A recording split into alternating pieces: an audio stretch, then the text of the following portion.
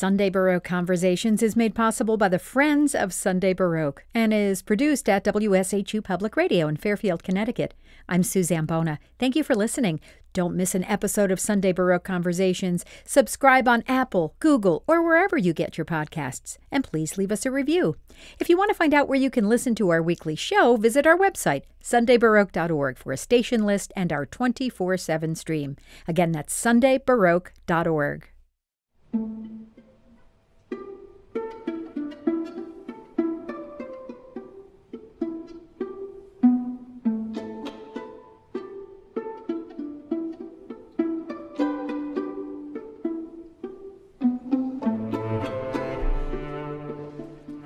Mm-hmm. Award winning musician Jessie Montgomery is a violinist, composer, and teacher. She has earned the Leonard Bernstein Award from the ASCAP Foundation, the Sphinx Medal of Excellence, and Musical America's 2023 Composer of the Year. And since 2021, she's been the Mead Composer in Residence with the Chicago Symphony Orchestra.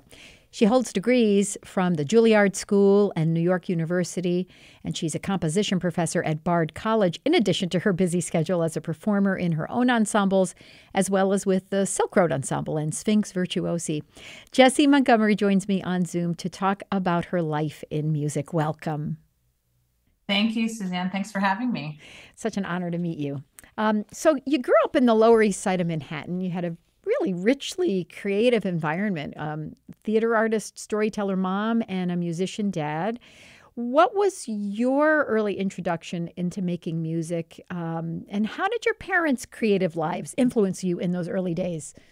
Yeah, sure. So I grew up, uh, you know, as you mentioned, among uh, art, a community of artists. Um, so like the the notion of living one's life as an artist was just um, kind of part of my daily experience. Um, and so, um, and my mom was a very active um, performer, um, director, playwright.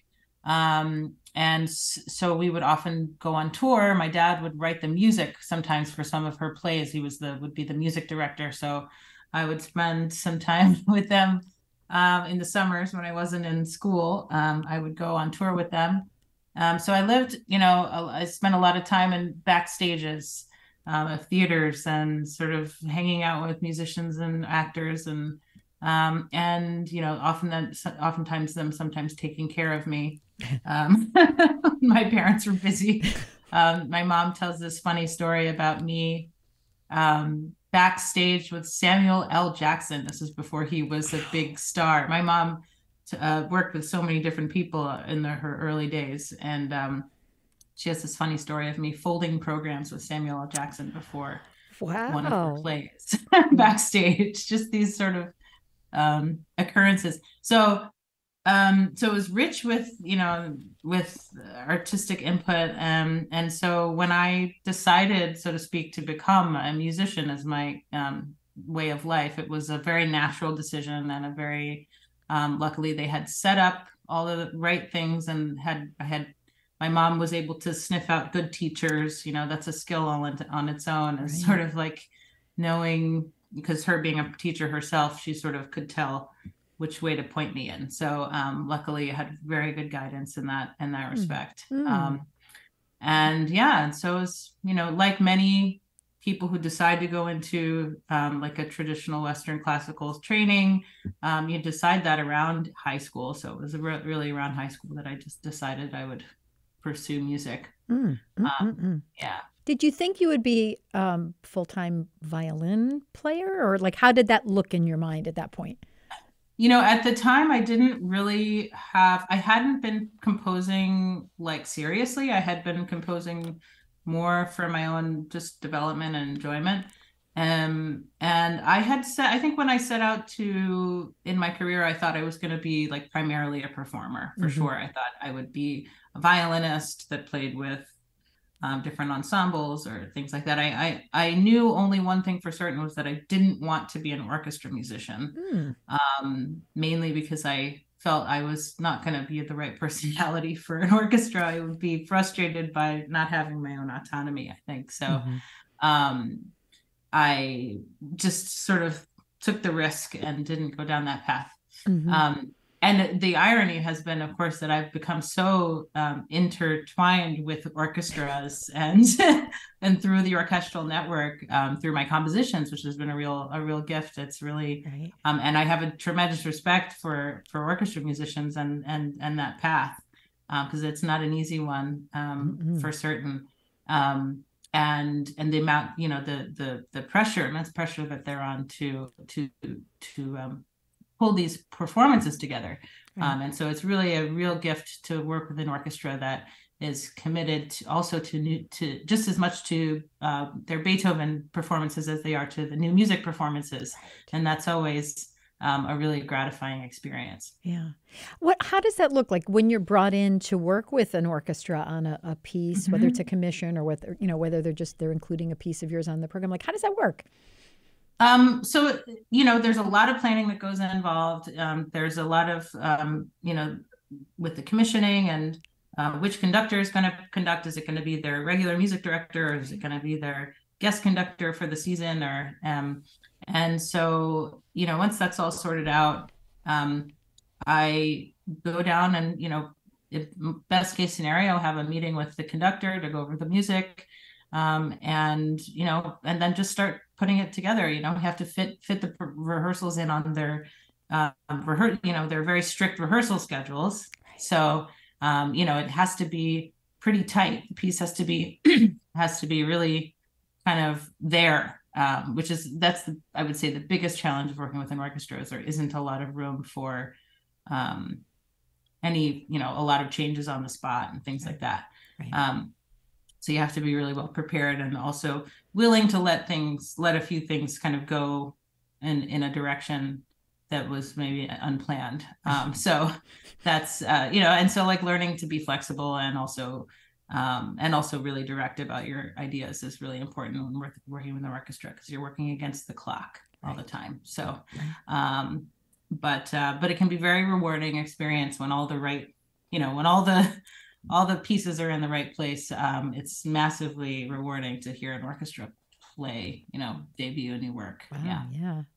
So um, we're, we're, we've sort of zoomed ahead to Jessie Montgomery, the very famous in demand uh, composer. But I'd like to go back again to, to talk about some early things. Would you talk about any of the mentors and teachers that you've had that really impacted the musician you have become, the person that you have become?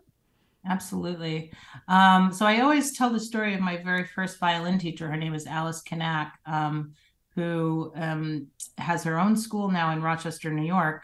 She was, uh, luckily for me, teaching in New York um, in the early 80s. And I, um, she was developing a method of um, teaching that bridged the Suzuki, what's the very traditional and well-known method, the Suzuki method, training method, with her own interpretation of Suzuki in a way to teach improvisation to young kids. So along the rigid, you know, the path of like rigid and formal mm-hmm. kind of rote training of Suzuki, I was also learning this to be creatively expressive with my music. She valued that that having those two things happen in parallel was really essential to the developing young brain.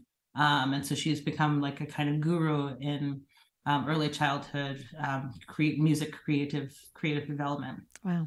Um, and then of course later when i when i um, had my teachers ann setzer and sally thomas um, at the juilliard school um, i would say that was my real like education in terms of learning how to be a really really really solid violinist right? And really can be could be competitive with my peers and um, and really express the full, you know, value of of the instrument and of um, and the and the and the technique, and really get, um, yeah, really um, kind of square up in a lot of ways. You know, I had such a really beautifully free um, expression in my, in my music, and then there's inevitably comes a point for a musician when you have to sort of tie things up and and get the technique really sound so that you can like i said be competitive and or um, play at the, uh, an extremely high level. So i was lo- luckily luckily able to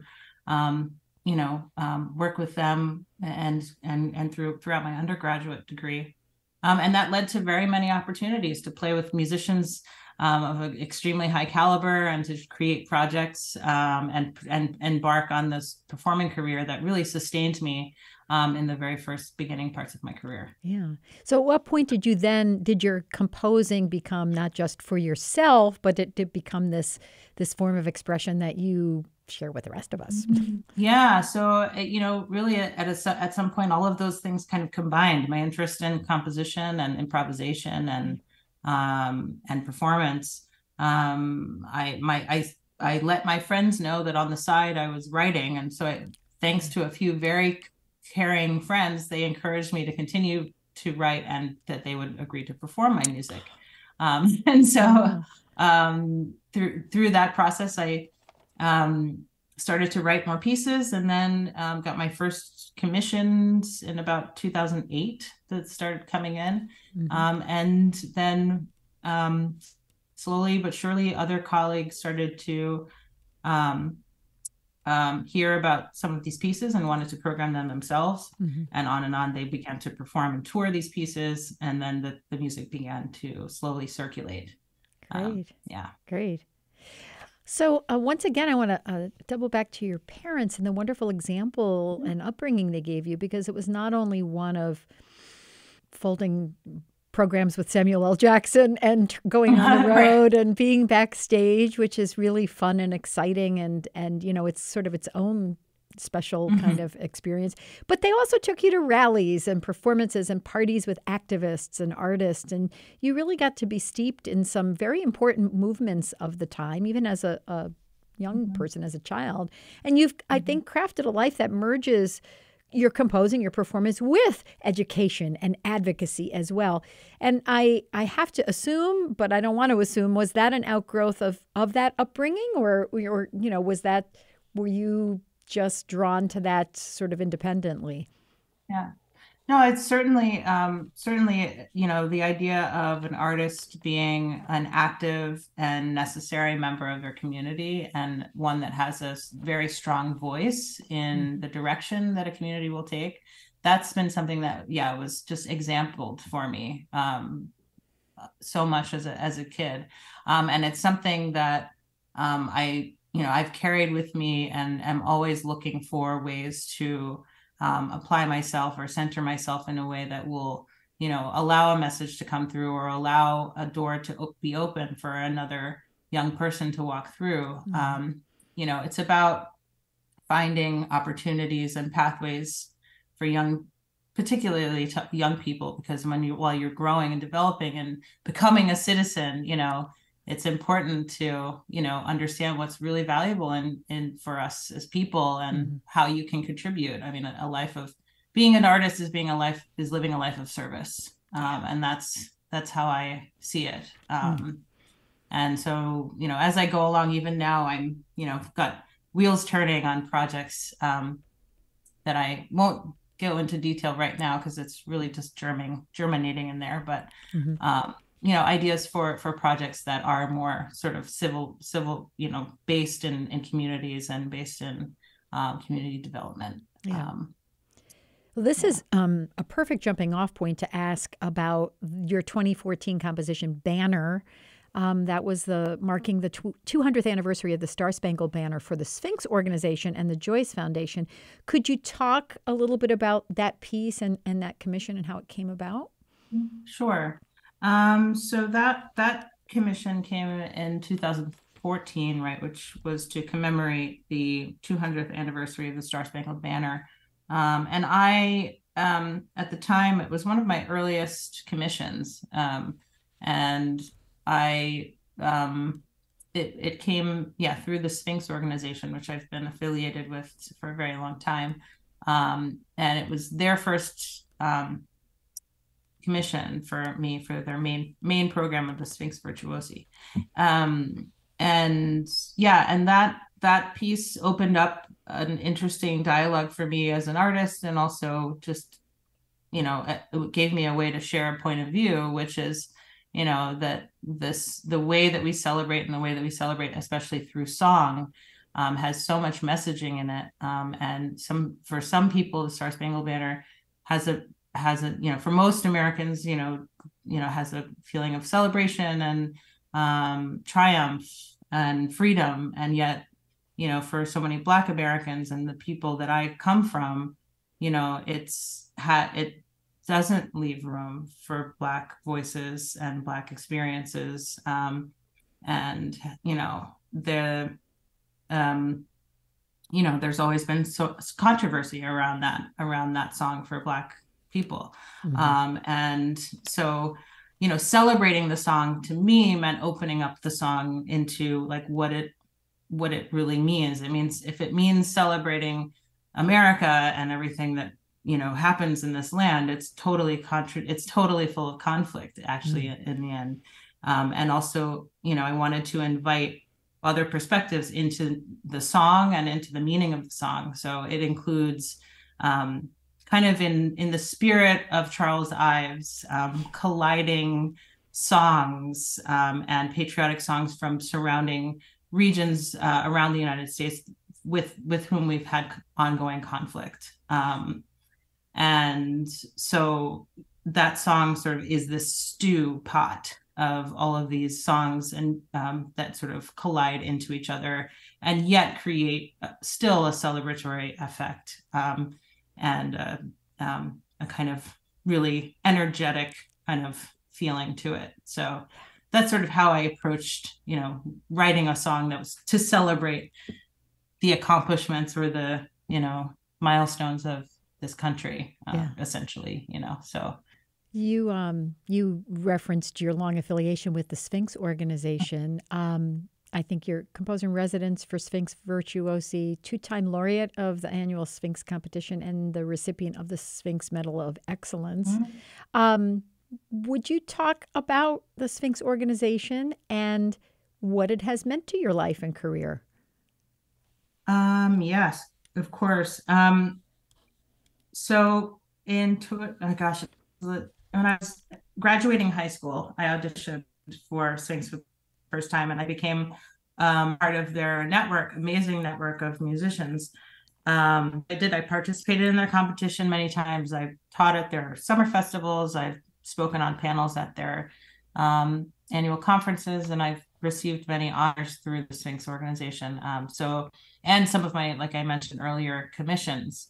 Um, so, I have you know a, a tremendous tremendous um, you know relationship and respect and admiration and you know sort of this wonderful relationship with sphinx that's developed over the years um, and continue collaboration. You know the, the wonderful thing is that you know once you become part of sphinx there's a saying a saying that you become part of la familia. And so luckily you know many opportunities and friendships and collaborations have come through my um, affiliation with Sphinx. Mm. Um, and again, and they continue, you know, I point my students in their direction. I continue, you know, there continues to be opportunities for uh, future generations through their work. And so just, it's a real uh, honor to be, you know, and real gift to be a part of something that has created so much change really um, yeah. in our, in our classical music community, especially, but also for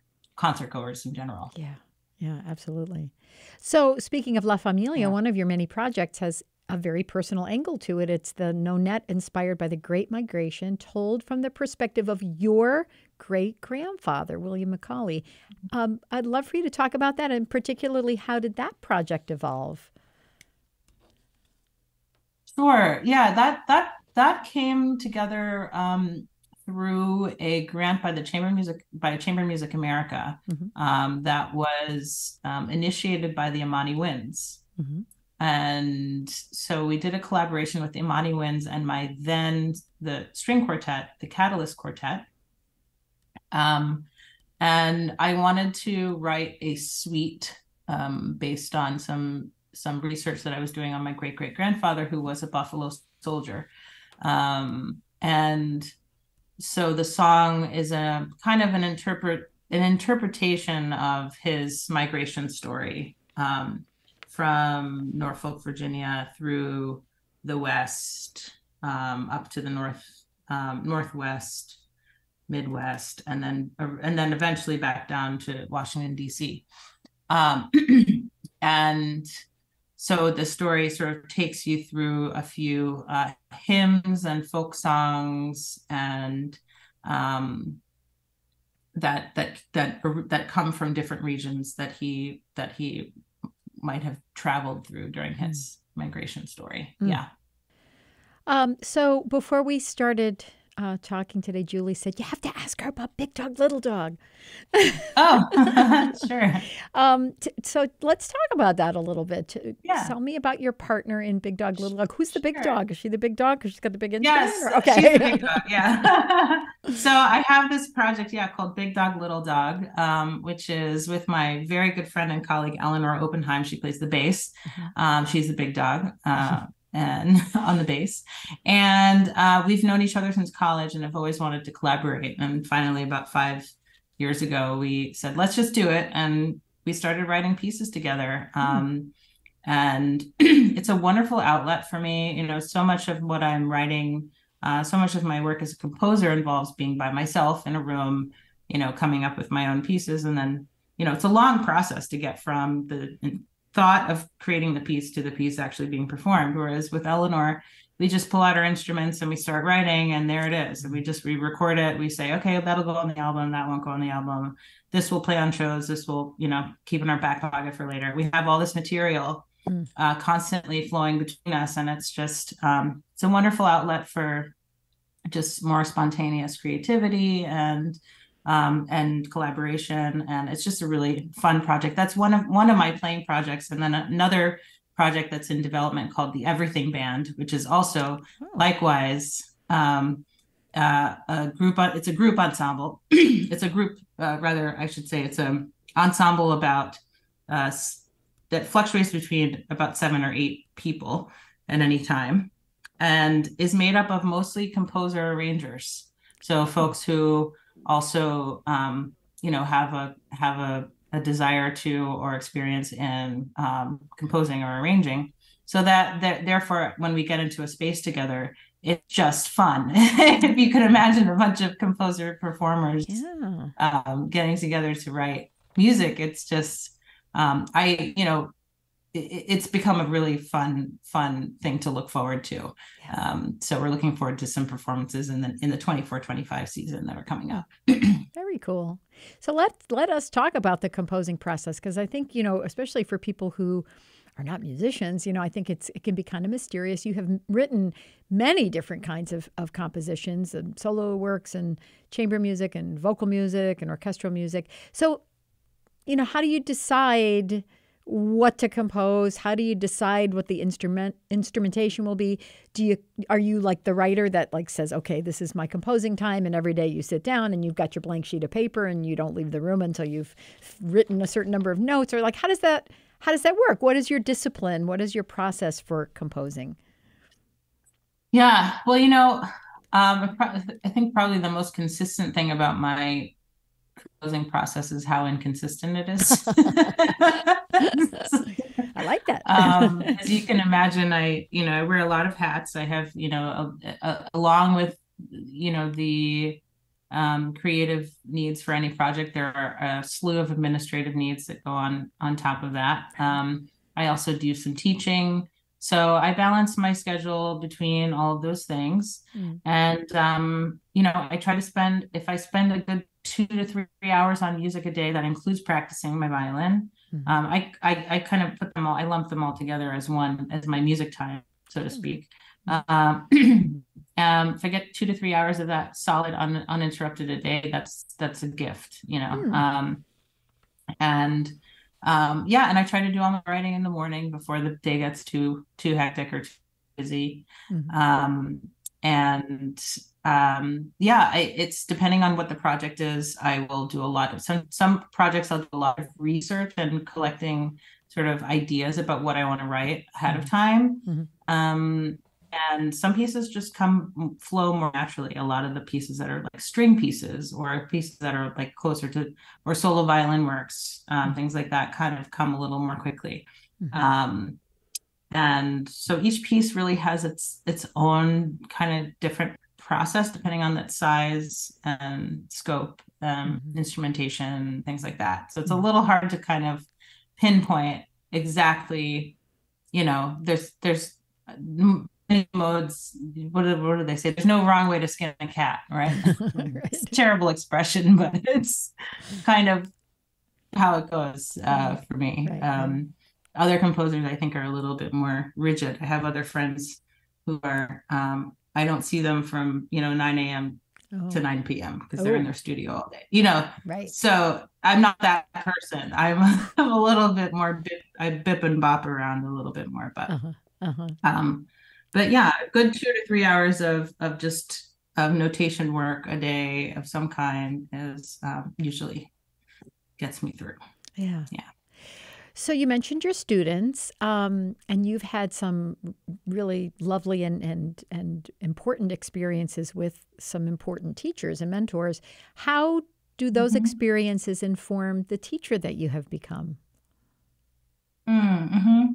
Yeah, that's you know I um, I tr- I try to you know, I try to think of myself. It's different with a violin student versus a composing student, right? Very, mm-hmm. they're very different because violin is, um, it's a practice that's based in like physics. You know, it's the physics of playing an instrument and understanding how the instrument works and how you can best produce, you know, the best result of the best sound, the most honest rendition of a of a work that's already been conceived.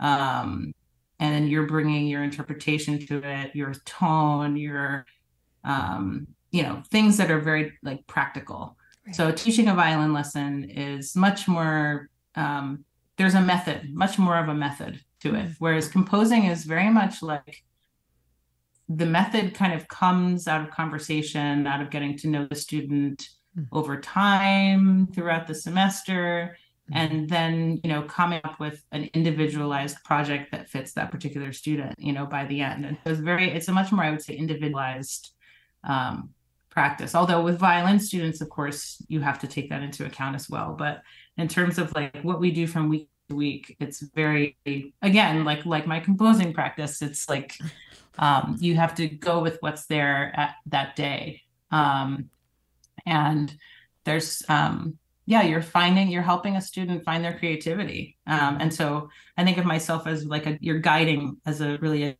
guide towards uh, their own thoughts you know helping them understand how they think about music. Yeah. Um yeah. and yes. Tour guide. So what else are you passionate about right now musical or otherwise? Do you have time for non-musical things? What, what do you love to do? Yeah you know what? I just signed up for a pottery class that I'm really excited about. oh, Julie's excited because like she's also hands. doing pottery. Yeah, very therapeutic. Yeah. No way. Oh, really? Yeah. Oh, nice. Yeah. yeah, I like doing things with my hands, drawing, pottery, anything, and uh, you know, it sort of exploits still the hand-eye coordination that's required for being a musician. Sure. I think that's part might be part of it.